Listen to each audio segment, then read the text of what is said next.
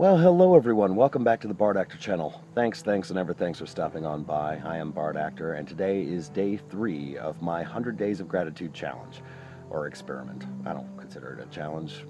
Um, but, so what am I grateful for today?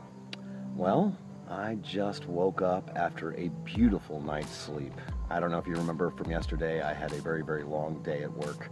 And so when I got home and I hit the bed, I fell asleep sleep like you would not believe. and uh, which is kind of amazing for me because uh, up until four years ago, I didn't so much go to sleep as I passed out. And I didn't so much wake up as I came to. So for the past four years, sleep has been something that I have been very grateful for.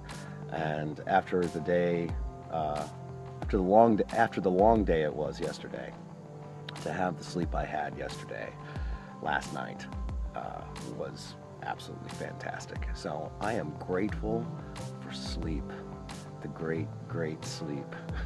and don't get me wrong, I mean, you know, I wake up in the middle of the night sometimes, you know, with bad dream or whatever, like everybody else does, but it's just nice to know that I've slept.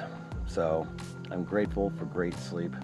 And uh, in that regard, I've gone ahead and decided to choose a quote from Shakespeare's Scottish play about sleep, and here it goes. Methought I heard a voice cry, Sleep no more. Macbeth does murder sleep, the innocent sleep, sleep that knits up the raveled sleeve of care, the death of each day's life, sore labor's bath, balm of hurt minds, great nature's second course, chief nourisher of life's feast. Still it cried, Sleep no more to all the house. Glamis hath murdered sleep, and therefore Cawdor shall sleep no more. Macbeth shall sleep no more. There you go. So, thanks, thanks, and ever thanks for watching. And until next time, the rest is silence. Take care.